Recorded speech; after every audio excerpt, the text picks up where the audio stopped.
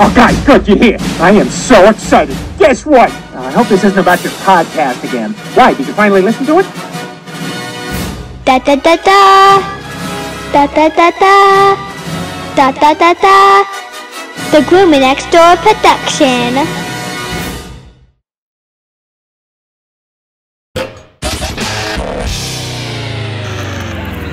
You're listening to BYOTP Radio.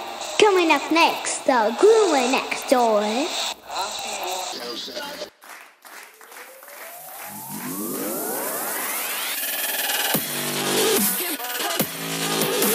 The Groomer Next Door podcast.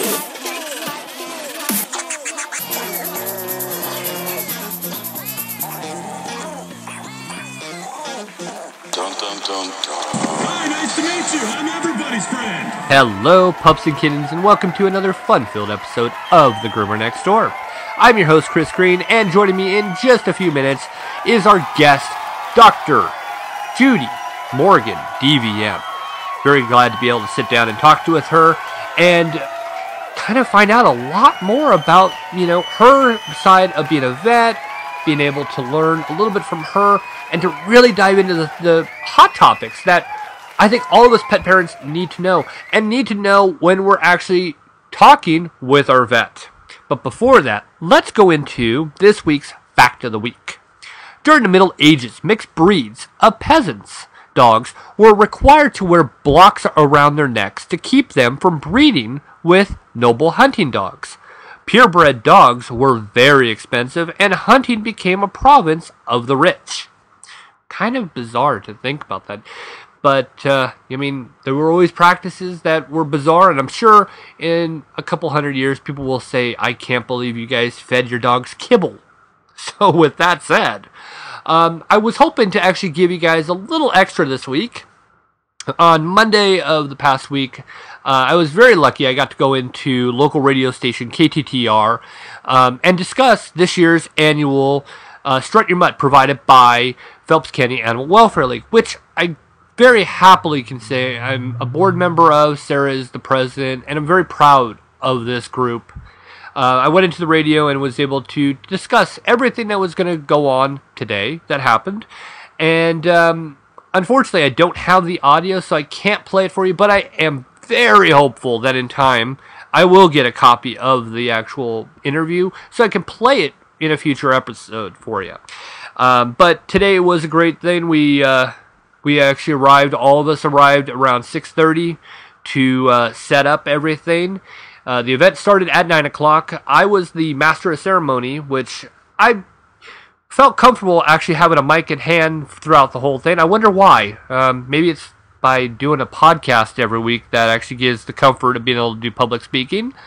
Um, and it brought in a lot of money. I don't have a grand total yet uh, because the event really just ended a few hours ago.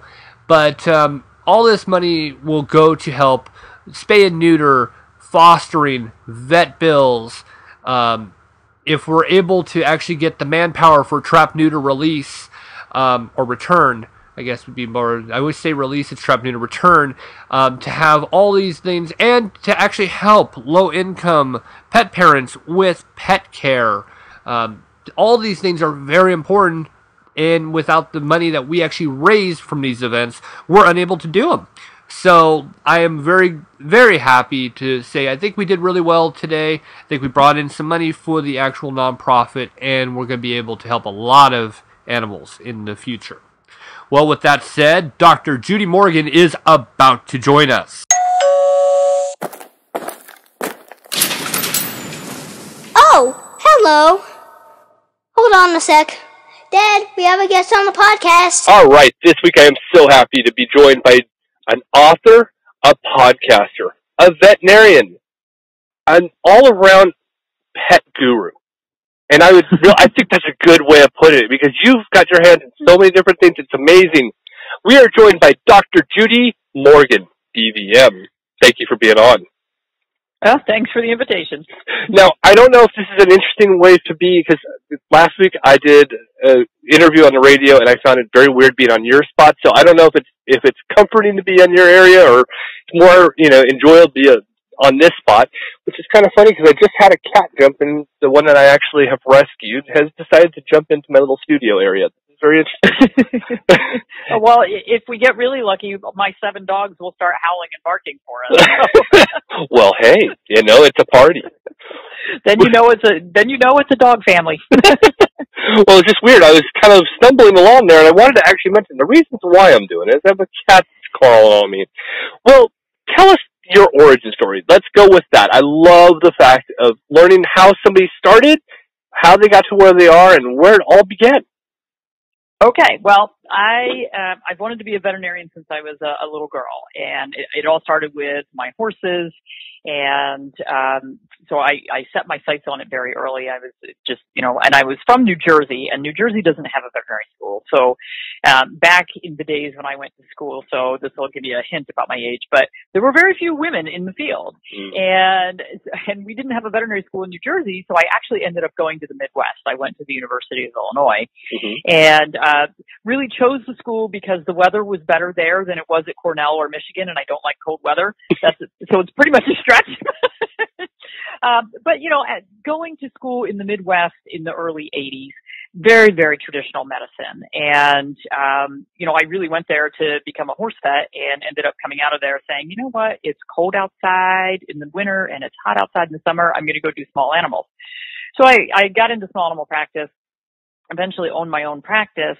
And um, along the way, I took a chiropractic course and I did it accidentally. I didn't know what I was taking. And so, which is a little bit weird. You know, I, I, I was taking this course called veterinary orthopedic manipulation. I thought I was taking something that had to do with orthopedics. And, you know, by the end of the course, I said, okay, well, that was a little weird. I don't, I don't know how I feel about all of this, but since I took the course, I came home and I started using it. And the changes that I was making for my patients just blew me away.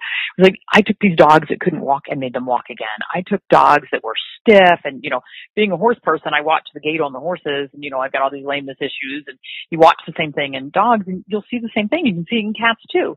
And the, the chiropractic just was amazing. So I said, wow, you know, there might be something to this alternative stuff. So started looking at everything else, got into acupuncture. When I got into acupuncture, I loved the whole Chinese medicine aspect.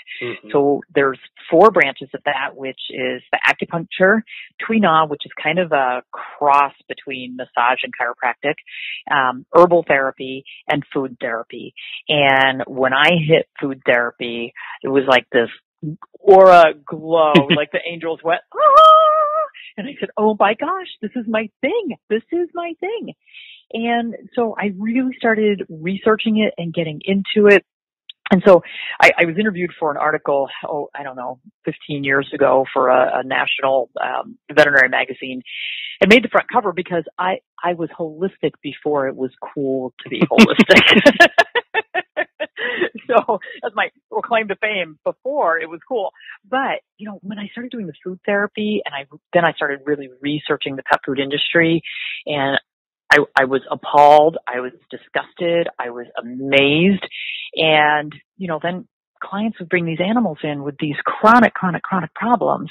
And I would start tweaking their diets and getting them off the processed kibble and changing what we were doing. And, you know, either if I couldn't get them off kibble, I would make a topper or I would add some fresh herbs or some fresh foods. And literally 75 to 80% of my patients did a 180 degree turn mm-hmm. and I was getting them off the medications. They were looking better. They were feeling better. The terminal patients that were given weeks to live were living months to years. And, you know, at that point, I just said, this is my thing. This, and, and so I've never looked back. And, um, so that's been, oh man, probably 15 to 20 years that I've been doing all this stuff. And, um, so now I am a real activist when it comes to, um, being very outspoken about what the pet food companies try to sneak in and, you know, hide on the labels and change the names and hide the ingredients. And so, you know, my, my, my big thing has really become educating pet owners. Um, you know, keeping my ear to the ground to know what's going on. You know, uh, I've become very good friends with Susan Thixton from truthaboutpetfood.com. She has been, you know, going to the AAFCO meetings for over 10 years, really battling for the consumers and for our pets.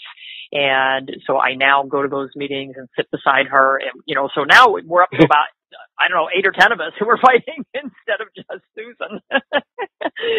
but at those meetings, it's, you know, eight of us against 350 of them. It's, it's a little lopsided. A little bit, yeah. The army is still strong on that side. But you know what? Very. The voices, you're, you've got a heavy voice, so does Susan. So those two, you two alone hold a lot. Now with We're the- trying. and you're succeeding, trust me. Now with with AAFCO, I know that there was a meeting that just happened. Oh God, was it this month? It was in August, yeah. it was in August. Okay. How is there anything you can tell me? Because I haven't been able to talk to her. Um, is there anything that you can share with us from that event? Oh my gosh. yeah. Uh, you know, it was funny. Um, Susan had had a meeting with FDA, hmm um, in Washington hmm and it was regarding the pet food problem with the pentobarbital that killed the little pug and made all the other pugs sick. hmm And so it resulted in a major recall and, you know, a, sourcing problems and blah, blah. And so Susan had a meeting in Washington DC with the FDA and with the owners of those pugs and the family. And, um, at that meeting, you know, everybody felt really bad. And Susan said, look, you guys didn't do your job. You, you didn't police this. You didn't stay on top of this. And, um, at the AAFCO meeting, she met with, I think the, she met with the state regulators in whichever state this whole thing went down, um, and said, well, why didn't you, I guess it was the state where the pet food was made. And she said, why didn't you find this? Why, why did so many pets have to be fed pentobarbital? Why did pets have to die before you actually stepped in and did something? Why weren't you doing your job and overseeing like you're supposed to and regulating like you're supposed to? Because one of the big things is that there are illegal ingredients in pet food. There's, Mhm. you know, 4D meat and things, you know, that are not legal based on the definitions that FDA sets out there. And, um, so, you know, everybody felt really bad because, you know, the owners, pet owners are there and they're upset, and, you know, and everybody was really apologetic. And so Susan asked them, um, at the meetings, she said, well, at AAFCO, at the, at the meeting, I want something from you. And she said, what I want from you is I want a, a, a distinction between pet food and pet feed. hmm Pet feed being what it, we're getting for the most part now, and pet food being the food that is actually made with real whole food ingredients and nothing illegal. hmm And, you know, she said, we, we just want, you know, that word on the bag. It's either food or it's feed. And at the meeting in Washington, they said, yes, they would do that. At That's where that's where I left off. That's where I know Yeah. it actually happened. Okay. So at the AAFCO meeting, they waited literally until the last five minutes of the last meeting. Oh. And Susan brought it up. And the official that she had met with at FDA sat up there and said, I never said that. Oh no, we would never do that. Oh, absolutely not. I thought Susan's head was going to come off. she was so mad. So, uh, and I mean, literally it was in the last five minutes. So, I mean, there was this huge, just big explosion. And, um, you know, it was like, okay, time to go. so, you know, we all left the room and we, we went outside and met on the patio and that's where, uh, Kimberly, uh, came and, you know, met with us. And so we had our little army of, you know, about a dozen of us and we actually did a Facebook live and Susan was just livid and she goes, that's it. That's it. I'm suing the FDA. I am done. I am suing for, I'm suing them for not following the rules, for not enforcing the rules, for not enforcing law, for breaking the law every single day when it comes to pet food. So it was, it ended up like, you know, you sit there for three days yawning and trying to stay awake and drinking coffee, you know, as they go through, you know, oh, we're going to move this comma and we need to put a period there. And yeah, the parentheses are in the wrong place. And you're just like, oh my God, I just want to like poke my eyes out with a chopstick. and, uh, you know, and, and then there's this explosion in the last five minutes. And that's how every AAFCO meeting that I've ever been to, there's always this one little five minute period where you're just like, wait, what? What? so yeah, there was a. I- So I don't know um, where you know. Susan's been dealing with a hurricane recently, so um, I'm not sure uh, exactly where everything is with that. But I know she she was livid after that. So yeah, it was an exciting meeting. Oh wow! See, I the last time I talked to Susan was the week after DC, and she Okay. recorded, and then we we probably published a few days later. So I didn't know how the meeting was going to go in August. So that's why it's great that you were there because I was like, okay, I know about the pet feed, pet food, whole controversy. Which I mean, let's be realistic; it should just be not should not be sold in stores instead of Right. pet food. But um, Right. that's but here Yeah, we go. So I know she wrote um, a couple of newsletters that she sent out about it. So if you look back at that time, right at the uh, end of August, and then I did a couple of blogs and Facebook posts on it as well. So if people are interested in it, they can go back and look. Um, the meeting was like the 13th to the 15th of August, something somewhere right around there. So it would have been the week after that that we would have posted everything. So um, there's a real good Facebook Live where Susan on my page, which is Judy Morgan DVM, and I mean, Susan just went off. She was she was just so mad. Now, having you being such an expert, I have to ask this question because I've never been able to ask it yet. Why is penta pentobarbital in dog food? Why would it be there? well, it's euthanasia solution. Yeah, but why would it be in dog food? Well, that means so. Here's the thing: the co- I don't know if I'm supposed to say names here, but the company that had the pentobarbital in the food, um, they have a, a you know a major processing plant where they make pet food, and so they have a supplier who supplies them with meat. Well, they advertised on their website, on their products, on all their labels, uh, that all of their food was USDA inspected human grade. Mhm. Well, come to find out, their supplier was actually the dead animal guy. He was the guy who goes out and hauls in, like, you know, all the roadkill and all the dead farm animals. So no, he was not supplying USDA certified human grade meat.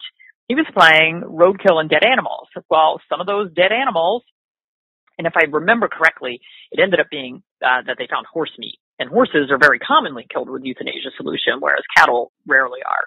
Um, but but it wouldn't be out of the realm. So you know, but a euthanized horse getting into pet food, and I can tell you, being being in the horse industry because I've had horses for most of my life, um, and I have had many horses euthanized, unfortunately.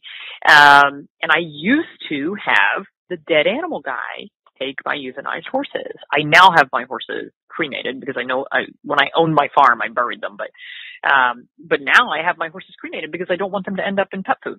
Yeah, right. And so, you know, the dead animal guys that are taking horses and, um, or cattle or farm animals of whatever sort and killing them and using them for pet food, they're supposed to use a captive bolt to the head, which is sort of like shooting them, um, instead of using euthanasia solution. So, you know, and they really don't want to be caught supplying euthanasia solution. And the problem is it was, there was just, there was so much of it in this batch um, that it was just really, really strong in there. But if you go back and look on the FDA website from back in like the late 90s, they tested a lot of pet food and a lot of pet food had pentobarbital in it and it was coming from actually euthanized cats and dogs that were making it to rendering plants, which I think they still do make it to rendering plants. Mhm. Um, just nobody talks about it. Um, so there was a time in the veterinary field where we were having problems actually euthanizing animals. We were having to use doses that were three, four, and five times what we should have had to use based on, you know, labeling and what we had used in the past. And what came out of that was that because dogs and cats were eating pet food that had low levels of pentobarb in it, their liver was actually learning how to process it Oh, and yeah. so that it didn't work. And so we were having to use massive doses, which that's a real problem. Mhm. You know, I, you know, and, you know, so then we sit there and we go, wow, why do I have all these pets with elevated liver enzymes? And you know, it is amazing how many pets come in. You know, we do routine lab work and it's like, oh, you know, he looks pretty good. Oh my gosh, look at those liver enzymes. And you keep monitoring them and every three, six months they're, they're going up and doubling and doubling and doubling and doubling. And all you have to do is get them off the processed food and the liver enzymes start coming down. So you kind of look at it and go, well, okay, either the grains have aflatoxins, which are causing the, the liver enzymes to go up, or you've got some pentobarbital solution or God knows what else, but there's something in there that is causing those enzymes to go up. Oh my gosh. Now that, that does bring up the question that I've read a lot about this and I know you're probably huge on this as well, and that is why vaccinations are such an issue. There has been such a problem with this lately, um, pretty much in the, in the sense that, and I'm not, and I'm not saying you because I know you're very conscientious, but veterinarians are over medicating our pets. And that's Oh, become an issue. And that's why it's like, it's great that I can have you because I did notice, and one thing that was great when I was doing my research, I did notice that you actually wrote something on this. So that's where I was like, you know what? I get an opportunity to talk to you about it. Yeah, I talk about this all the time. So we have we do a lot of rescue work, um, and so we have all these senior dogs that we have rescued. and Some of them have been with us eight or ten years now, um, but they're all teenagers. And so I do titers on our dogs every year, and they're t- so a titer is a blood test that tells you whether they still have antibodies to distemper or parvo or rabies in their blood system. If they still have antibodies, they're still protected. You know, if you if they were exposed to parvo, their body would say, "Oh, I've got antibodies for that. I'll just kill it off." So you know, that's the same as having a vaccine. So if I've got dogs who had a vaccine 10 years ago and they still have positive titers, why would I vaccinate them? So the problem is that the, the, we'll have people come in for vaccines every year was arbitrary. There was no scientific basis for that. It was just kind of a, oh, well, okay, yeah, we need to vaccinate dogs for distemper, you know, and then it was interesting in the 80s when I was in veterinary school was when parvo first reared its ugly head and there was no vaccine for parvo and we had just had wards full of animals dying right and left from parvo. So I'm not anti-vaccine, um, because we did make a difference when we started vaccinating for it. Um, but we had animals dying right and left, and we actually used a feline panleukopenia vaccine because that virus is very close to the dog parvovirus, and so we were actually vaccinating the dogs with the cat vaccine to give them some protection, and it was working. And then they came out with the parvo vaccine. But um, so as these vaccines started coming out, you know, it was just sort of okay. Well, we'll just give them every year, and nobody really looked to see how long they really, or if they did look, they certainly didn't publish the information for you know anybody to get a hold of it. Um, but it was kind of one of those things. Well, you know, if you if you give the vaccines this year and do the exam, and then you send out the reminder card, and that'll be a way to get them back in the door next year because you know they got to come in for their shots because you sent the reminder for the shots. Right. So, um, I don't know, maybe 10 years ago, it, you know, it started coming to the surface with Ron Schultz and Jean Dodds and, um, and even some of the vaccine companies started getting, you know, a little bit on board. And they started testing and looking and saying, you know, these vaccines are lasting an awful lot longer. We don't vaccinate our kids every year. Why are we doing this to our dogs? So they really started looking at it and found that, um, you know, the hepatitis virus, that's lifetime. You can get that and you're good. Um, distemper and parvo, for a lot of dogs, they get a couple puppy shots, they're good to go. Really good to go. And I have actually talked to some of the reps at the vaccine companies, and boy, they don't want this information to get out there, which is why I share it. Um, I like you already. You're just, you're, you say everything like me. It's just great. so I just I just had this conversation with uh, a veterinarian from, from about a rabies vaccine because I found uh, uh, I excuse me a veterinarian at one of the vaccine companies because I was having an issue with a veterinarian who was vaccinating adult dogs every single year for rabies and using a one a labeled one year product. And i said well why would you do that? You know when you give that adult vaccine it's going to last a minimum of three years. It's licensed for three years. Why would you use a one year product? And um so i was doing a consultation for this woman and and so i said well why are you doing that? And she said well i guess it's required because my dog's a therapy dog. So i looked up the therapy group and said yeah no. They they go with every three and she goes, well, I guess it's the state I live in. And so I looked that up and I said, no, your state goes for three. She goes, oh, I'll call my vet. Well, they said it's the city that I, that they're in. So I looked that up. Nope, that's three year. So I called her back and so she called them back again and they said, oh, it's a safety and efficacy issue. And I said, okay, now they've just changed what they were saying, but whatever. So, you know, we, now we're on phone call number four. And I said, okay, well, I'm going to call the vaccine company. And so I called and I got the veterinarian at the vaccine company and I said, so tell me about your one year versus your three year vaccine. 45 minutes later, I'm pretty sure it's the same dang thing, just with a different label on the bottle.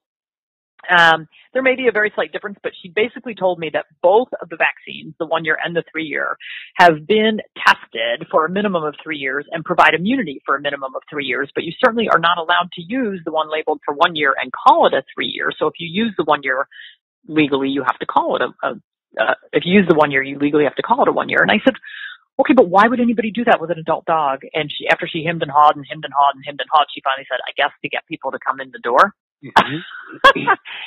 and, you know, I said, well, that's just wrong. And so, you know, here's this poor little dog who has all these chronic allergies and chronic issues, chronic urinary tract infections, just, mm. you know, can't get the health going in the right direction. So, you know, she's been changing the diet and working really hard and still can't get things going the right way. And when I looked at the vaccine status on this dog, I said, oh my gosh, no wonder you can't get things going the right way. So the other thing with the rabies vaccine is you know, there's the traditional vaccines and then there are what we call T-free or thimerosal free. And the thimerosal is the preservative and that's what has the heavy metals and the mercury in it. And um, I really, really recommend that people request a T-free vaccine.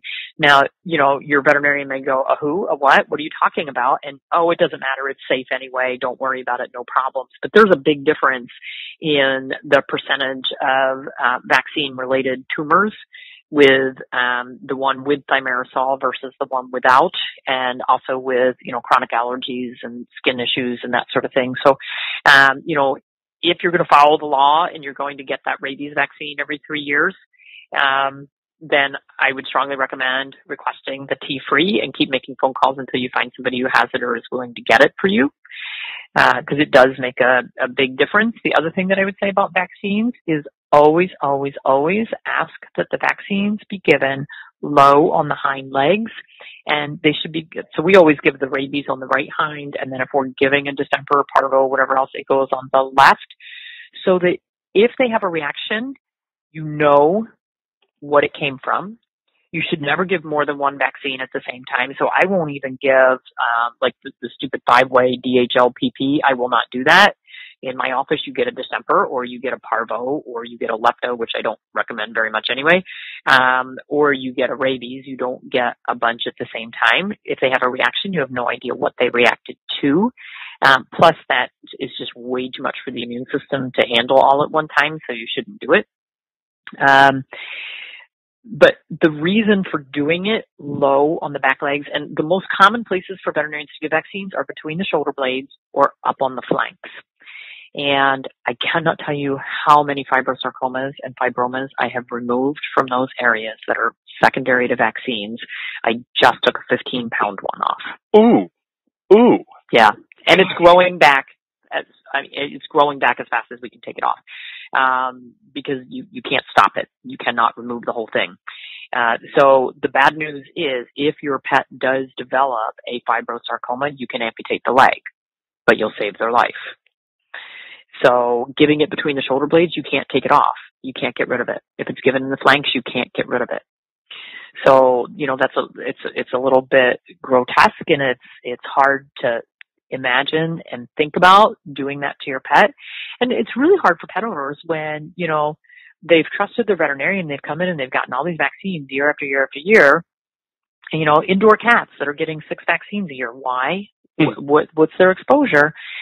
And then they come back and they've got this huge weeping, oozing tumor that you can't do anything with. And, you know, if you're lucky, you can amputate their leg. Wow, we just cut off a body part because we gave a vaccine. That's pretty sad. Now that, now this of course segues a brilliant little, uh, question of, now I, I find it to be interesting because I'm lucky enough to talk to great vets. But, now we all know, and I'm going to say it because you're here and you're going to agree with what I'm about to say, I'm pretty sure, but not all veterinarians graduate top of their class. So what is the issue with the trust? Because that's become the biggest issue now. The trust between pet parent and veterinarian. Where is this? Why has this happened? Well, it's happened because um, there's been enough people getting on their soapboxes Whoops, and saying you don't need to vaccinate. Yeah, you don't need to vaccinate. Well, me too. You don't need to vaccinate every year. You know, you don't need to give all these chemicals. Um, you know, you don't need to do this to your pets. So people are going in and questioning. And some veterinarians, you know, they just have a personality where they get very, very uh, scared. And so they get very defensive when you come in and you start questioning. And then they, oh, you read Dr. Google. Well, you can't believe everything you read. Okay, well, great, you know, because I'm part of that whole Google thing.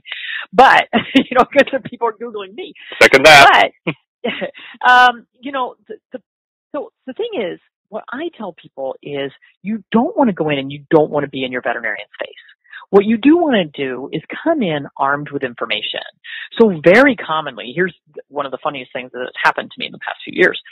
My first book, From Needles to Natural, has the longest chapter in there is on vaccines.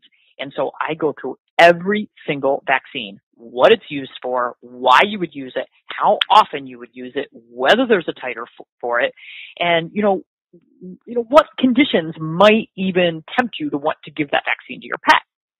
So people buy this book and they bring it to me to be autographed when I'm speaking somewhere and I see them and it's, you know, it's got little dog tags on the ears, you know, dog eared pages and it's got things highlighted and post notes sticking out all over the place. And so people literally take it in with them and go, okay, look, a veterinarian wrote this. Here's the information. This is why I do or don't want this vaccine, this vaccine, and this vaccine. And, you know, but people go in, even if they're not armed with a book, they're armed with the knowledge and you need to go in and say, look, I, I did the research. My pet has zero exposure to, you know, pick one, influenza. My pet doesn't go to be boarded. My pet doesn't go to the dog park. My pet doesn't go to the groomer. You know, whatever it is, and just say, look, he doesn't need that. He doesn't have any exposure. So it's all about having the knowledge, sounding intelligent with, with, with your knowledge, and then presenting it in a way that doesn't make them get defensive. And you can politely decline. Now, you know, some veterinarians make these arbitrary rules like, oh, your pet, I won't see your pet unless it's up to date on rabies vaccine.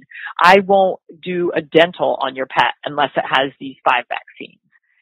My recommendation, if your pet is up to date, I had one client in, uh, they were in Ohio, took their two dogs in, talked to the veterinarian. They came armed with their knowledge.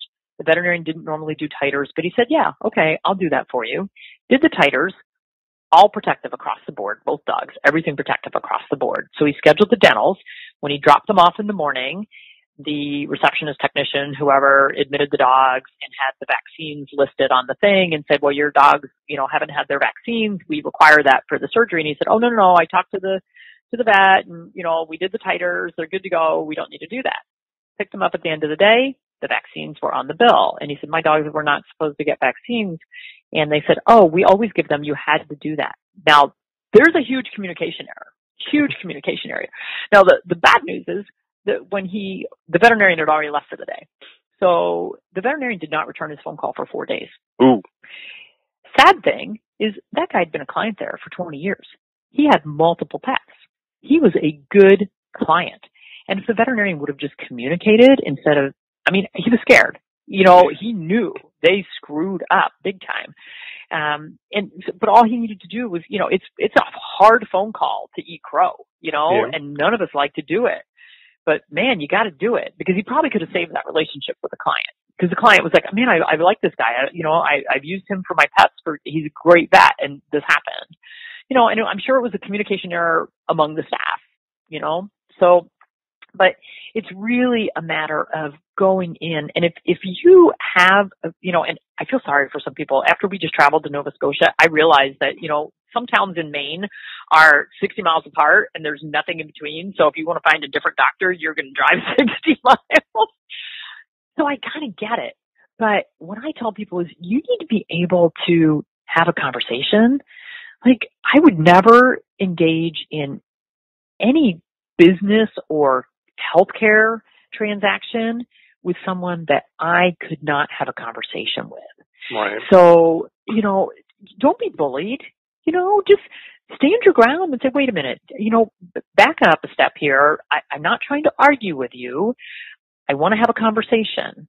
And this is my side of the conversation. You know, my pet doesn't need all of this and I'd rather do a titer. And I don't see why that's you know, a big deal. I mean, it's it's actually helping all parties, and it's a CYA. It is. As a veterinarian, you really have your Yep. opportunity to go. Well, we did it titer, and there, Yes. there it is. But part of the other problem is we have to educate groomers, boarding kennels, because they are part of the problem. Daycare, they're part of the problem as well. Mm-hmm. Many of them say, oh no, you have to have vaccines every year to get in the door. You have to have up to date annual vaccines.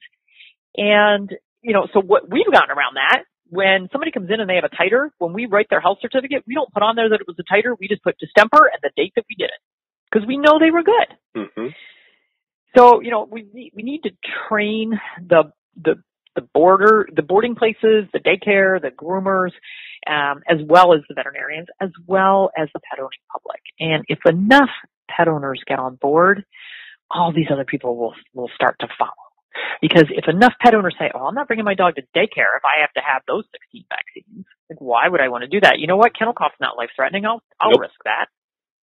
it's it's an annoyance. So I mean, I can remember at the place I was at, there was kennel cough, and and you know, people are like, well, I don't know what this is, and and I I was a little taken back, like, okay, you do have a encyclopedia right there that you are playing a video game on, but you know, I went over the you know the example, and of course, you know, people were like, okay, yes, yeah, of course, you know, it is Yeah. one of those things that you can avoid.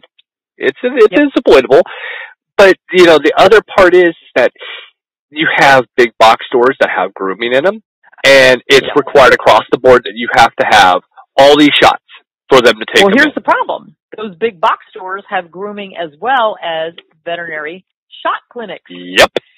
So those vaccine clinics are part of the problem as well. Uh-huh. So, you know, we have Tractor Supply around the corner. We have PetSmart. We have Petco. We have Pet Value. They all have weekly vaccine clinics. Walk in, get your dog shot up with 16 things at the same time. Here's your package price.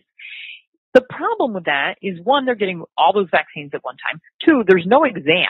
Now, legally it says right on the label to be given to healthy pets. Well, how do you know if it's pet's healthy if you haven't done an examination? And the people are not educated at all on the fact that, hey, you know what, you just had a rabies last year, you don't need it again this year. Mhm. They aren't educated on, hey, you had a distemper, you had a parvo, they're still good. Um, every vaccine company, like this is some insider information, every vaccine company, um, they've done the testing to know how long their vaccines actually last. Oh, of course. And so they actually know. So there was a, a, uh, distemper parvo vaccine on the market for about 10 years that actually had a three year label on it, which was wonderful. When they came out with that one, man, I jumped on top of that. So, but then they took it off the market. And so when the rep came around, I said, why did you take that off the market? I said, you, you just screwed me over here. And he said, oh, well, we weren't selling enough of it oh man, you know, like nobody educated the veterinarians. And he said, well, I'll just, I'll give you a clue. He said, even our products labeled for one year, we have tested all of them. They are all guaranteed to last for five years minimum. wow. And if you have a client with a pet that was vaccinated with one of our vaccines and they come down with distemper or parvo within that five year period, we will pay for all treatment. There you go. And yeah, I'll tell you that. but They, uh, you know, they don't tell anybody that. yeah, there you go. See, that's what I find weird about all this. lasts. Mhm. And now, now, money. well, it's it's in, you know, I'm not I'm not putting down veterinarians. I never have. It's it's the fact of it's an office visit, and you know, one of our non the nonprofit that we actually volunteer with. My wife's president. I'm one of the board members as well. You know, we help the community with different things as long as we actually have the funding. Because of course, you know how it is with nonprofit. It is hard, Right. especially with rescue and foster and spay and neuter and et cetera, et cetera. Um, and a lot of times, instead of the vet, you know, saying, okay, this is a Pical dog, we will at least cut the vet, you know, the office visit by half. Or not at all. You know, just say, okay, we'll just bring them in, we'll do the shots. Hmm. We'll, we'll see the dog. We'll see the cat. Whatever the case. Oh no, it's still this, it's still that. I, I brought a cat, and I won't say to whom, but I brought a cat in. It was a kitten. They got their shots. They were set to get their second set of shots. They didn't do the records correct. And so that cat, those three cats got another set of first shots. Now, okay, I'm pretty sure and I'm, I'm guessing, but I'm pretty sure that, that could have been considered shots number two, if I'm not mistaken. Right. Then they went into into for a, a last one should have been their third set of shot, uh, shots. There was no records of shots number two, so it was really shots number one. So then there was a fourth Oh set of shots. And I'm the one who handled all of it by taking these cats in. I'm like, no, I was there. It became a thing. Unfortunately, long story short, the cats did get four sets of shots and oh four different sets of office visits, four sets, et cetera, et cetera. And this is what drives me nuts. And I know Yeah. that in your practice, this is not what the good veterinarians are doing. This is just what No. a common unfortunate. You know, again, Well, uh, you know, I mean, good record keeping, you know, it's, it is changing, um, you know, and, and believe me, veterinarians are my best friends. Um, but I am not a fan. Uh, you know, it's, it's funny. First of all, I don't think very many, many veterinarians know that the vaccine companies will guarantee the vaccines for five years. The vaccine companies certainly aren't telling them that. But My guy told me that. One, he was retiring. And two, he knew my feelings on it. So, and, and he knew I was so upset that they got rid of the three-year vaccine. So we bought out all that they had at the time, um, you know, so that we would be protected. But, you know, part of the problem for veterinarians is that bottle says labeled for one year. right? So it's a legal, now it's only a legal conundrum with the rabies because nobody legally requires distemper and parvo. That's not a legal requirement anywhere. Only rabies is a legal requirement. So when people, you know, when, so I don't like that veterinarians use that, well, legally you have to have and parvo every year. No, there's no legal about it, but it is labeled for one year use. hmm So, you know, not not giving it annually, you're using it off label. But then fine, if you're scared about that, then run a titer. And, you know, there's inexpensive ways to do that. I interviewed um uh Dr. Robb, John Robb a couple weeks ago. And, you know, his his website, you know, it gives you the specific instructions. Send it to Jean Dodds' lab, send it to Kansas State University. Here's how much it costs. Get your veterinarian to draw the blood, send it there. You know, I tell clients, hey, I'll draw the blood and send it yourself. I don't care. we'll do it however you want to do it. I'll send it to my lab. We'll send it to that lab. However people want to do it. Um, but it does require an extra little step of work for veterinarians. And if they're not, you know, when they get scared and they, you know, they'll, they'll say things like, oh, well, it'll be $300 to do a titer. Well, that's a scare tactic to scare you off. And when you come back with, no, here, look, at Kansas State, it's 45. At Dr. Jean Dodds' lab, it's, you know, 45 or 50 or whatever the heck it is. I don't even know. Um, you know, if you stand there, you go, no, I did my research. See, look, this is how much it is. Now, are you going to charge me $245 to pull the blood and send it there? know, so, so the thing is, if you go in educated and you go, no, it really, it really doesn't have to cost that much. I just need you to draw some blood for me. Can you do that? Um, you know, but part of it is veterinarians who are not familiar with it. You know, you're, you're, you know, you're kind of pointing a finger at them and going, I know more than you do. And I get that. That's, that can be scary, you know, for the professional who's standing there who had eight years of college Mhm. and is saying, well, wait, I'm, I'm the expert. Who the heck are you to question me? Mhm. And I get that. I, I hired a young vet once who had that attitude of like, no, I, I'm the doctor in charge. I know everything. And I was just like, you're going to have to lose that attitude if you're going to make it in this world. but you know, when you're backed into a corner and you're, you're a little scared because you don't know the answer, sometimes that's just kind of the, the way that you end up being. You know, you get very defensive and you just kind of throw up all these walls. So you have to be really careful how you go in and approach people as well. Well, you know what? Knowledge is power, and and that's Yeah, the thing. You go in, you have, you can go in with it just on your phone. I mean, look, I'm I'm an '80s baby, and I know I know what you were thinking when I said that, but still, I remember what it's like not to have a phone and not to have the smartphone that you could write everything on it and then go in and process. it. I remember the tablets, you'll pa- ta- your page after page. Um, so of I course, still use them. um, I do too. I, I my book with all the things for the podcast is right here in front of me. It's a real book, um, real tablet. I still use one, but um, you know, I, I look back and I go, you can go in, you can go into any single veterinary, you can go into any doctor for for yourself, and you can have information. There's Right. no excuse to say, well, why are you doing this, and why is this? And I looked on WebMD, and this is not right. Of course, you know you can do that, but you use use facts. Facts are right here in Right. front of us, and I don't understand why it's not being done. You know, I, obviously, people, some people though, do think they know it all, and that's going to be a problem. And you just Yeah. kind of reference one example of how that can happen. Yeah. Yeah. So, you know, you really just, you know, you, you just have to go in armed. You know, when I go to my, my, my, my regular physician for myself, you know, so every year I go in for my annual checkup, you know, Mhm. because my insurance company says I need to do that. And, you know, every year I get the, okay, and you need this vaccine, this vaccine, and he hands me all the papers on, you know, this, that, and the other thing. And, you know, I'm getting a little older, so, you know, the flu and, you know, all these different things. And he hands me all the paperwork. And, and I'm like, just save the tree, dude. You know, you know I'm saying no. There's no way I'm going to do, he knows how I am. Like, there's no way I'm going to do any of this. And I hand it back to him and he goes, well, I have to give it to you. I'm like, all right, fine. I'll take it with me. And so, you know, then my husband will go the next week and, you know, he'll walk in and he'll go, she already told me, like, don't even bother giving me the tree. And, you know, and he comes home with the tree as well. Of course. But again, that- there's your CYA. I understand the Yeah, CYA. I get it from all all perspectives. I completely get it. But you know, you know, when it's the but you have, you have the ability to say no. right, you have the ability to stand your ground and say, no, I really just, I don't want, I don't want to do that. I'm not going to do that to my pet. Um, you know, one of the scary things that happens is a lot of times your pet's taken in the back and they're given the vaccines. So, um, oh, and, and I'll say that we are guilty of that as well. A lot of times we will do injections, like if we take them to the back to draw blood, because, you know, a lot of clients, I've had clients hit the floor when you draw Uh-huh. blood. If, you know, I don't, uh, if somebody faints, I'm going down right after them. I don't do human blood. I don't do human stuff. So, you know, we don't take that risk. And, you know, if somebody says to me, I want you to draw it right here, I'm like, oh, well, then if you're good with it, I'm fine with it too. Um, but generally we take them in the back. But I always say, and when we go back there, this is the vaccine or this is the test. This is what you've asked for. This is what we are going to do and nothing else. Um, so if your pet's being taken to the back to be given their quote shots, make sure you know what's being given. Ask before they go. but you're also you're also saying transparency veterinarian care opposed Yes. to the other. Now, Right, but that you just have to ask. You know, Right. The- you know, it'll be transparent if you ask. right? You know, Well, ask, that. ask first. Don't blow up after it happened because you didn't ask.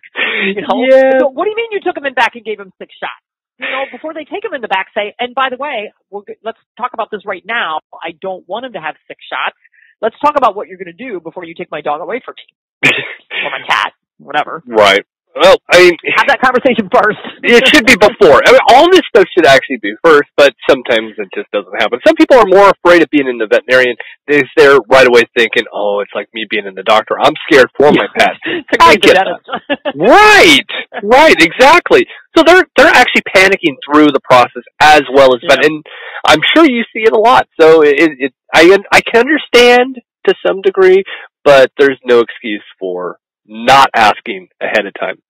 Now we have mentioned soapboxing, and I told you before, but you know how I'm crazy in Walmart or any big box store, and I love this part of every interview because I always like to know what is your version of soapboxing because that Kimberly was the same way. Beginning, she's like, "No, I really don't have much. I usually leave it to my blog." By the end of it, I had her on a stage, and I enjoy that. So, I, I'm not afraid that I'm going to have you right there in front of it all. I want to hear your big soapbox moment, please. Oh my god, I have so many. so, uh, let's see. We've talked about vaccines. We talked a little bit about food. So, I mean, food. I can stand on that soapbox for about 25 hours. But um, I'm not allowed in the pet food aisle at the grocery store. I won't even go to Walmart. So, I'm there's nothing there I want to buy. Um, True. but and and I understand. You know, in the middle of Missouri, you don't have as many options as I have here No. in New Jersey. So, you know, you might be stuck there. But Unfortunately. uh, yeah. So, uh, but there's no pet food there that I would ever consider buying. Um, there's no food there for me actually. But, um, you know, I don't go to the pet food aisle in the grocery store because every time I do, I whip out my phone and I start taking pictures and I start taking pictures of ingredients and then I write blogs about it and then I post it on my Facebook page and then I go on a rant on my Facebook. And, you know, those are always great because, you know, those are the ones that a hundred thousand people want to watch because I'm ranting. They love it when I rant. Um, but you know, and my husband, he's like, you know, he grabs me by the arm and he's dragging me out, and he's like, "You're gonna get us kicked out of here. You know, we're in a small town. We only have one grocery store. We're never gonna be allowed in here again." so, um, so I will rant, but I, I don't. I, you know, I, I stand there and I, I see what's in people's carts, and I'm not the type to walk over and and tell people because I've learned the hard way, people don't like to be told. Um, you know, they they like to be educated when they're ready for it and when they're open for it. But when they're in a hurry and they've got three screaming small children and a basket full of staff and they've been at work all day and all they want to do is get home, they don't want to listen to my soapbox about the crap that's in their cart for their dog and cat. Um, but I always have business cards bookmarks. When we're in our RV, I always have books and we hand out a lot of books. We hand out a lot of book bookmarks. Um, we, our old RV, and we haven't done it to the new one yet, had huge graphics on the side. And with my website and my Facebook page and pictures of me and the dogs and my books. And I can't tell you how many people we'd be sitting in, in campsites and I would get these messages through Facebook. Hi, we just walked by and saw your RV. We're listening to your show. you know? And I mean, it was great advertisement. Um, I think one of my biggest soapboxes right now is, um, the oral flea and tick medications that are killing pets right and left. Mm-hmm. And actually now many of those have been uh, transformed into topicals as well. And uh, it's funny, I just got an email from somebody in Africa doing a study on the demise of the dung beetle population. And they suspect that the dung beetle population is dying out due to the chemicals that are being fed to the dogs and cats for flea and tick prevention, and it's coming out as metabolites in the stool, which are highly toxic to the dung beetles. Hmm. So, you know, these are the little things. So the chemicals that I'm talking about are the isoxazoline derivatives, which were originally looked at to be crop pesticides. However, they were too toxic to the environment because if they get in the waterways, they kill off all fish. So we are now, I think there's like, I don't know, 8 million doses of these products that have been used worldwide. And that it is now all being excreted in urine and stool from pets that is getting washed into waterways, killing off the insect population, all the beneficial insects that feed our birds, that feed a lot of the animal populations. It's getting into waterways. It's killing off fish. Who thought this was a good idea? I never know. Not to mention the fact that it's killing dogs and cats. You know, Oh, God, and that's yeah. just that's just a little side effect, you know. But whoever thought that was good? That is ridiculous. And so it, it, you know what? That's where I just go. I don't even know where to start. I, I'm going to join you on stage right now because that. What? Wow. yeah. Wow. So yeah, and I, I haven't answered this person yet because she wants to know my thought on the dung beetle population. I'm like, man, I haven't studied that. But, you know, she did bring up a good point. I'm like, man, oh man. And I, I do happen to be in a study group, um, looking at some of these chemicals right now and, uh, with a bunch of really cool scientists.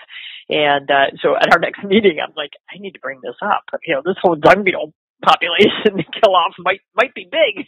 Maybe that will make a difference. yeah, I wonder how that actually works with the ecosystem. How that would be such an issue. I know, I know. Like our entire ecosystem, you know, it's kind of like all the Roundup, you know. Yeah, all oh, yeah. Phosphate, that you know, the chemicals, and we're we're it's it's being taken up by the plants that we're eating. This, this is not good. This is not good for us. It's not good for our pets. It's not good for anybody. Right.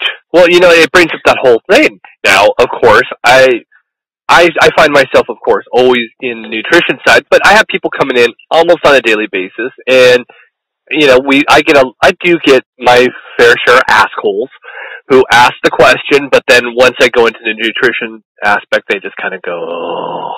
Now, there you know, again. I, I, Their eyes glaze over. right? You know, I always say, "Have you heard of barf?" And and of course, you know, I I love I love saying it that way because it's just so it's so hysterical. But Yes. you know, I'm like biologically appropriate raw foods. Oh gosh, no, I could never do that to my dog. And I'm like, you know, and again, you know, go back to the soapbox. You know, whether you're in a grocery store, you're in a big box store, even if you're talking about PetSmart, Petco, Walmart, Target, whatever, you still have a meat aisle. That's where I go, hey, look, you're in the wrong pet food aisle. This isn't pet food. This is pet killing aisle. This isn't good. Oh, and and I told you before, my daughter is already nine years old, and she's I think she's on her way to become. Really, I would I would hope that she becomes a vet like you. That's where I'm guiding her, and she hates kibble. And it's like good for her. yeah, you know, it's you're you're very fortunate. Here you're in New Jersey. You have Dr. Harvey's right down the way, which I think they're amazing. I think that there's some great companies out there, but I also think, and of course, you see where I'm taking this. There are amazing recipes out there, and you post them. I saw your meatloaf You- one. I'm like, that is amazing. I mean, Oh yeah, Puploaf. The Puploaf. Uh, I I did sort of a a really easy Puploaf using a base mix. Um, when my first book came out, the From Needles to Natural in 2014. So I did this Puploaf, and it was actually based on using the Honest Kitchen uh, right. preference. And Honest Kitchen hates that I did that. They absolutely hate it. I'm like, man, I have sold more food for you. You should stop hating that I did this. You know, but they keep saying, well, you should never cook the food because it ruins the nutrients, blah, blah, blah. I'm like, you know what? I've been eating cooked food my entire life and my nutrition is pretty dang good. um, and you know what? Doing that is still a thousand times better than anything you're going to pour out of a bag of kibble. Oh God, So, right. But so now, but Puploaf became world famous, and it is so funny because I can go on all these different Facebook groups around the world, and people are sharing the Puploaf recipe in multiple languages. It's hysterical, and there have been so many versions of it now. So then I. Um, Oh my gosh, then we came out with the first cookbook, What's for Dinner Dexter. Then I came out with the second cookbook, Canine Kitchen Capers.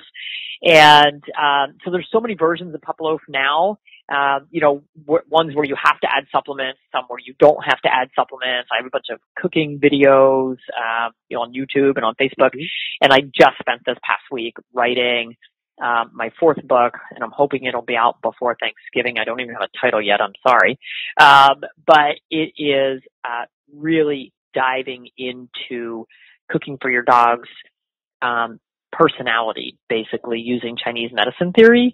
So, you know, if you have a fire dog, they're going to be prone to heart problems. This is how you want to prevent that and how you support that system. If you have a metal personality, a water personality, whatever, um, you know, these, this is the signs that you look for. This is how you keep that that pet balanced and these are recipes that you could, you know, rotate through to do that, you know, how to do the supplements.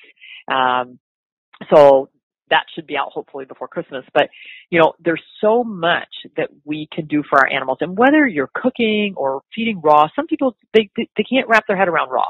Right. When people first came to me, so Ian Billinghurst started the whole barf diet thing. And he's so, I inter- interviewed him a couple weeks ago. If you haven't interviewed him, you should I have not. he just wrote a ah he wrote just just came out with a book pointing the bone at cancer uh it's a cancer book. My website's the only place in this country where you can get it and i've been importing them from australia for a ridiculous amount of money from him. Um great great great book. I read it and i just said everybody needs this information. Um but he came to this country in the mid to late 90s and did the barf diet tour. And that's how we all kind of got on that whole barf thing. And he goes yes it was a really unfortunate acronym. You know? I love and it, he's though. changed he's changed what you know is now it was you know then it went to bones and raw food Mhm. and biologically appropriate raw food. I mean it's changed a few times. Um but uh you know people started coming to me in the you know mid 90s and talking about this whole barf diet thing and i was like oh yeah i, I don't think i would do that oh yeah, oh you know oh i don't know i don't you know and i was just sort of transitioning into the alternative stuff and literally within a couple of years i was ordering ian used to um sell a barf diet here in the US and so I was ordering his barf diet. It was fifty bucks just for shipping every Ooh. time I got it. And I was feeding a Doberman and, you know, a couple I had a couple big dogs, a couple little dogs, and I was like, Oh, this is like ridiculously expensive. And so I dropped out of it after a year. But luckily other companies were starting to come on board and it was starting you know, you could start to find them in some of the high end pet stores. And then I finally got a freezer in my office and I was able to, you know, buy it wholesale and then, you know, have it in my office. Um, and now I've gone, I've tested so many different companies and gone through so many different companies and, you know, make a lot of our own now. Um, so, you know, not everybody can do raw. I understand that, which is why I want to give them cooked options as well. And a lot of my recipes, it'll say right in there, you can feed this one raw or you can cook it. This is how you would cook it. This would, you know, this would leave you with the best nutrition. So, so much you can do. Now, you know what's great? As I, I've kind of gone off my, my normal path. Normally I, I'm very strategic, but I know having somebody who has the ability to do a show, I'm able to kind of be flexible with you. Now, I don't know, it wasn't really planned this way, but I wanted to talk about your books, And what's great is that you you've brought them in, and I'm like, okay, this is the perfect time where I can actually start going from here because again, it was it was actually question number two, but we got into such a, a great conversation. It's like, well, I'm not going to derail that. So I wanted to actually get in there early. A lot of times I usually like to, you know, go in and introduce the actual guest the way we do it. But what's great about this is again, good conversation. What's the point of actually derailing? Now, of course, you said in 2014 you had from needles to natural, and you have you have your new one coming out. So let's go back to 2000. Let's go. Well, I'm pretty sure you probably started writing it in 2013. Maybe you're just a really good writer and you're able to get it done in 14. I don't know. Um, I wasn't there, but uh, you know, where did that start? How did you come up with the idea? I'm going to start writing a book, and then the next part, two-parter. What then led to book number two, book number three, and now book number four? Okay, so book number one. Um, I was just I was first getting on Facebook, and it was probably 2012, um, and I was asked to join this Cavalier. We, we rescue Cavalier King Charles Spaniels, mm-hmm. and I was asked to join this group called the Cavalier Brigade. And I said, "Oh, that'd be really fun." It was a small group, maybe three, 200 people. I think now it's like 400 because we keep the, the there's a cap of 400 on it. And um, so I joined the group and, you know, I'd see people talking about, oh, what, what do you feed your dog? What's the best dog, dog food to feed? You know, and people would, you know, name all the big pet food brands and I was just like, oh my God, no. so, you know, I started chiming in. Well, what do you use for heartworm preventative? And then they'd all have a discussion and then I would chime in. And then, you know, so all these questions were being asked and I kept chiming in.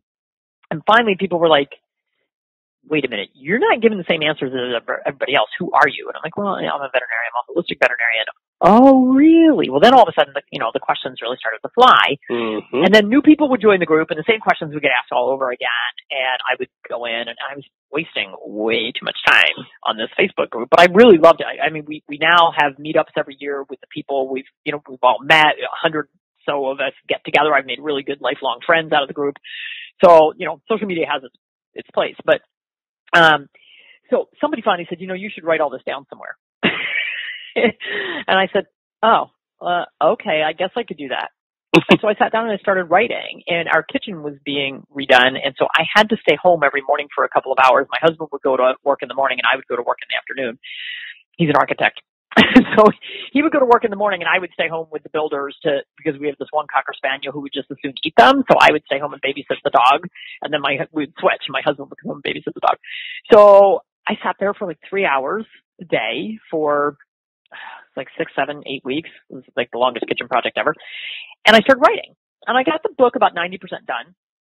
And then I put it aside because then life got in the way. And then mm. in 2014, in February, I said, you know, I really need to finish this thing. Like people are asking for it. I really need to finish it. So we took two weeks and we went to California and rented a condo and sat in a condo for two weeks and eight hours a day. I worked on that book. And at the end of two weeks, I had a finished product. Wow. And then, then I had to find a publishing house. It was, it's, it's a, it's a hybrid publisher, self-published type thing. So I found them and, you know, then I started making all these changes, making all these changes. And my husband just walked over one night and he said, you're going to change that thing until you hmm. can't stand it anymore. I couldn't, I couldn't stand the book anymore. And he said, you know, it's never going to be perfect. Just hit send. And he said, if you don't hit send, I will. And I was like, okay. so that's how it got done. Um, and then uh, I had done a series of uh, YouTube webinars. There's about 15 of them on uh, Chinese medicine theory, and at the time we did them live because my son was living with us and he's a tech guru guy. Um, so we did them live, and people could uh, type in questions, and I would answer them as we went. But they were PowerPoints, and they're still out there on YouTube. Um, but it's a series of 15 that talks about uh, traditional Chinese veterinary medicine food therapy and how to, you know, tell the energetics of your pet, the energetics of food, how to, you know, drain phlegm and transform stagnation and, you know, all these things.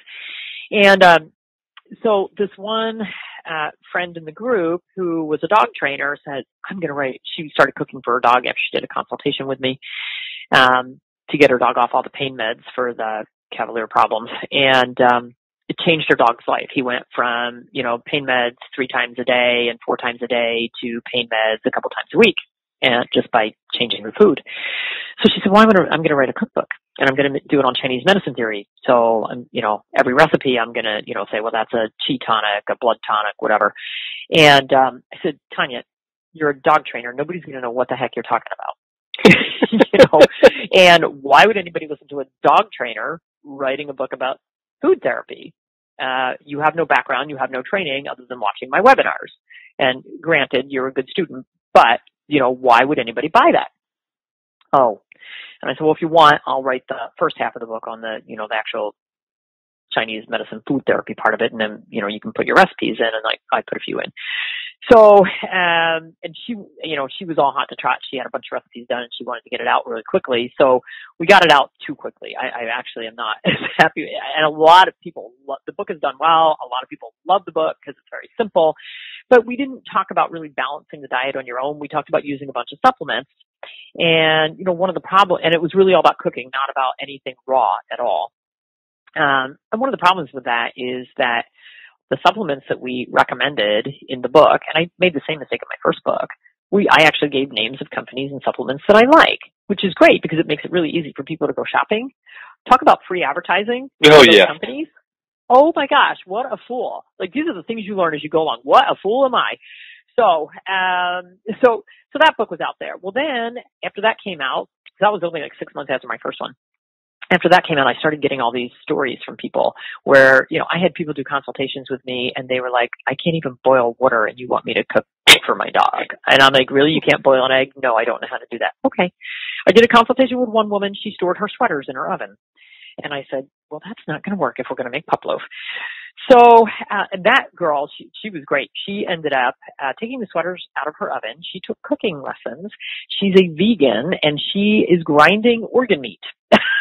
so, um, but so people started writing me those stories and they were hysterical and they were, I, I, you know, I would laugh at these emails, laugh hysterically. They would send me these pictures of, you know, their kitchen just exploding and covered with stuff and, you know, their trials and tribulations.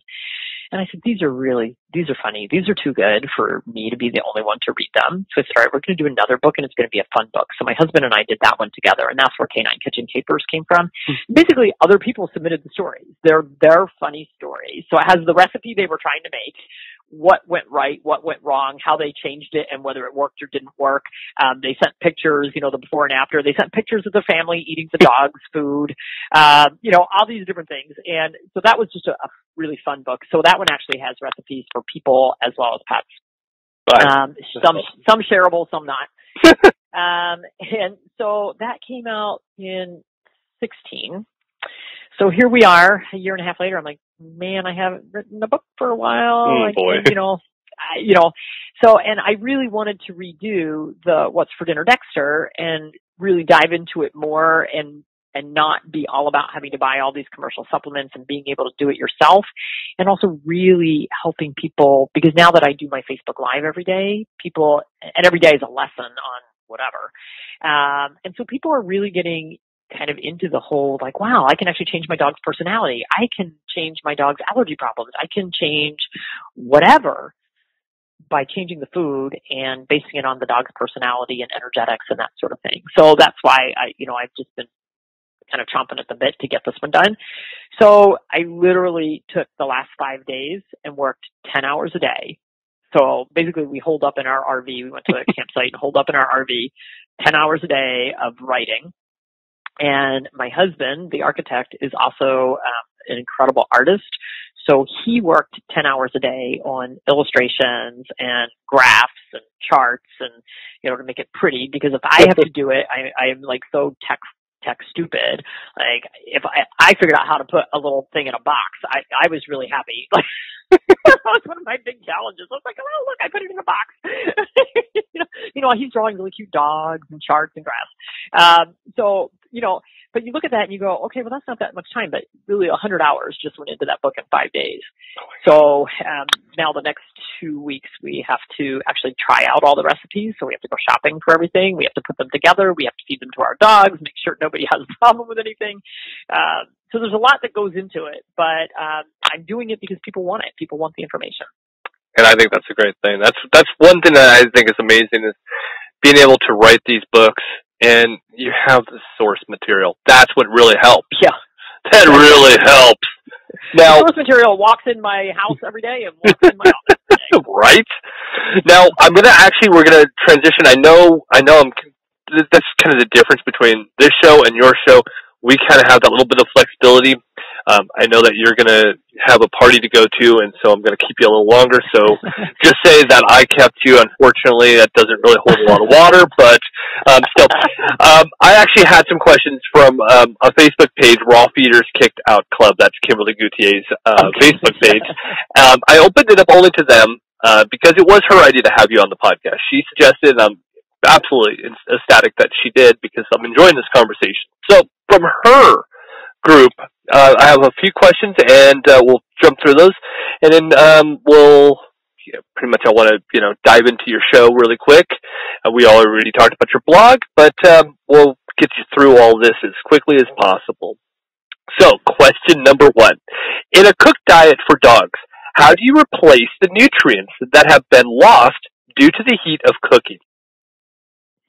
Well, first of all, all the nutrients haven't been lost, and if all the nutrients were lost by cooking, we'd have a lot of dead dogs on this planet because they've been eating cooked kibble that is cooked at high heat five times before it ever gets into the bowl.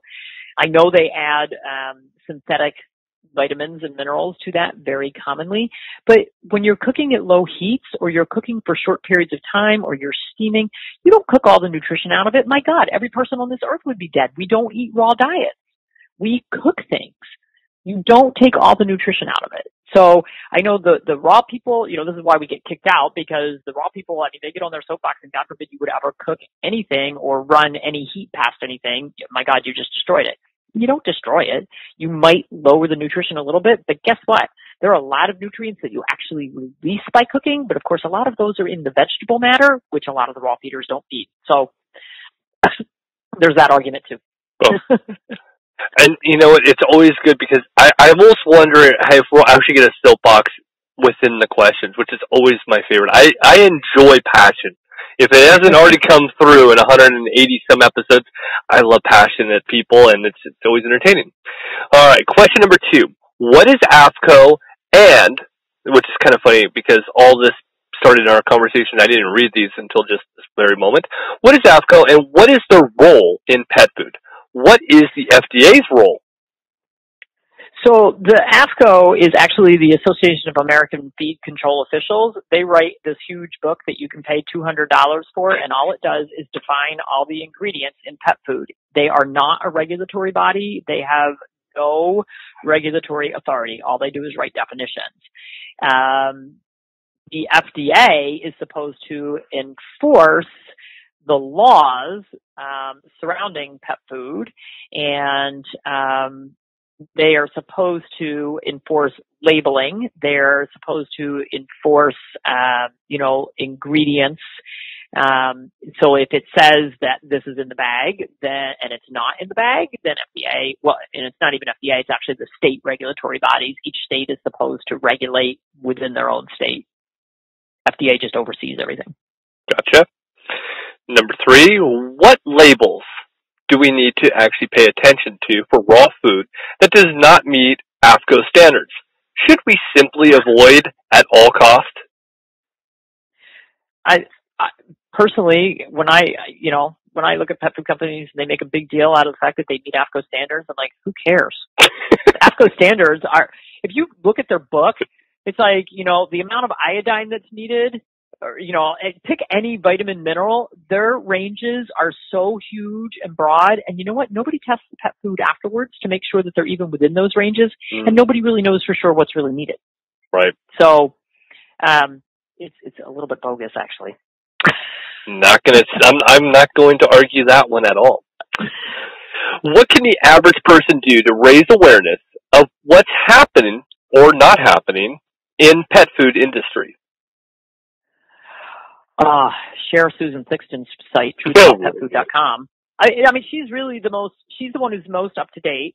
Um, there are many of us. I mean, my website, drjudymorgan.com, uh, Karen Becker, Rodney Habib, Kathy Denovi, uh, Alanovi, um, Mollie Morrissette, Gene Hovey. I mean, there's a lot of people that are staying on top of things, and I mean, you can follow the FDA. You know, sign up for the FDA recall notices. Uh, Dog Food Advisor posts recall notices. Mhm. So uh, there's a lot of websites you can go to to to stay on top of that. Very true. I like Dog Food Advisor. That's where I go for everything. Seems like, um, and you. I'm just gonna say that too. You know, and I, can I comment on that? It's Sure. funny because I talked about Dog Food Advisor in my first book and said, "Oh, what a great site!" And you know what? I really don't like them um, because they don't consider sourcing at all. So yes, they do highlight in red, you know, an ingredient that you know, okay, if it's got uh, propylene glycol, you know, they'll highlight that and say that's a questionable ingredient. You know, FD&C red, FD&C yellow. They'll highlight those, and that's great. But they give four star reviews to a lot of pet foods that I would never touch with a 10 foot pole. um, so, and it's because of sourcing and, you know, it's all those 4D meats that are going into those rendered products. So you've got a lot of pet foods that are getting four stars that are just a bunch of rendered products. And yeah, maybe they have meat as the first ingredient and then they're filled with just crapalicious fillers the rest of the way. so I've, I've gotten away from it because I think that it misleads people. I was going to have them on the podcast. Um, they were developing another another um, website of some sort, and we just have kind of gone in limbo. Um, but Yeah, I wish they would look at sourcing too. I, Yeah. you know, there, I, there are just things that I would like to see them look at as well. Yeah, So and- it would be Susan Thixton. So. well, yeah, well, that is true. But but you know what? I would actually still I I still would love to talk to them. I mean, it would be something I would definitely bring up. Uh, definitely a conversation that would be had uh, because I don't shy away from that. And lastly, what's your take on PFI, the Pet Food Institute? They're a lobbying group. I just wanted to throw that, that. I had to throw that in there for you. All right. Well, in our last moments, I did want to go over this. Now you have a show, and I wanted to actually go over. Now, um, it's on for right now. Dream Vision Seven Radio Network. Now, is it is is the show actually condensed and put on your podcast as well, or is that a separate separate show? Yeah. So um, I do not have quote a podcast like yours because I don't produce my own. So mine is produced through DreamVision7Radio uh, dot com. Okay. So it, I pre-record them. I've interviewed some really cool people, but I pre-record them and um, they run at 7 a.m. and 7 p.m. Eastern on Monday. And so let's say I interviewed Ian Billinghurst. Mhm. Um, so he would run on Monday at 7 a.m. and 7 p.m. The following week he runs Tuesday at 7 a.m. and 7 p.m. Gotcha. And then the following week, it's archived on the DreamVision7Radio.com Naturally Healthy Pets page. So any podcast, radio show, whatever we want to call it, that I've done, they're all archived on there after they run their quote live um, on their platform the first two weeks. So I actually have shows every Monday and Tuesday at 7 a.m. and 7 p.m. And then they're archived after that. So you can always go back and, and look up shows that have uh, been done. But it's at dreamvision7radio.com and then you just have to look for the Naturally Healthy Pets um, page. Now, so Holistic Vets, the podcast that it kind of attaches you to, is that the show? No. No. Interesting, because it has your name attached to it. That's what kind of caught my attention. I was On like, Dream Vision? no, no, no. Through iTunes, through Apple iTunes, it'll show um, Holistic Vets. Oh, they may be running it there. Is that where they're doing it? Okay, because it, it's with you. It's got your name on it. So I was like, huh, okay, so that's how they archive it from there. Yeah, To maybe, Apple. maybe. Okay. But I'm but I'm also wondering if that might be part of my new show that we haven't started yet because that and that's through Bold Brave Media. And I know they're pushing the show before we even start. Yeah, because you have We, you have we have not started recording yet. you have a library in in Apple in the podcast iTunes. So eh, I think it's actually your current Dream show. Visions. Yeah, that's what I'm thinking. So I Oh, will. oh, I know. Well, I told you, I don't know anything about tech. and see, this is you know, it's it's funny. I when we started this, you were just like, uh, you know what? I you you did your homework. I'm like, I'm I I don't have. I'm not lucky enough to to put people together for this. Um, now, lastly, and I'm gonna go let you have a fun with your little- your your actual party because you know, I can totally understand what that. I'm supposed to go to one tonight. I think I'm going to stay home. Um, so I kind of have to go. I should go, but I'm not. so you have a speaking engagement November 3rd coming up, the Raw and Natural Dog Summit. I wanted to oh, cover yeah, that. Chicago. Yep, there yeah, you go. Uh, yeah, actually, I have a speaking events almost every weekend. That's the only one I saw right there on your calendar. happens to be- you know what? I have not put everything on my calendar. Ah. They've, they've just been rolling in, and you know, now that you reminded me that, I got to go in and put everything on my calendar. Holy cow! Sorry. No, yeah, I'm somewhere all the time, but yeah, that one's in Chicago, and that's from Dogs Naturally magazine. Cool. All right. Well, you know, Uh, again, biggie. It's going to be, it was always going to be different, you being on your side of the mic than being on this side. It's a little easier being on this side because you pretty much control the mass. It's not so much fun. Um, well, is, you know what? That is this week's episode of the podcast. Um, you know, how do you sign off on your show? Thanks for listening. You've been listening to Dr. Judy Morgan's Naturally Healthy Pets. My guest this week was Dr. Ian Billinghurst. We've had so much fun. Until we meet again, take good care of your pets.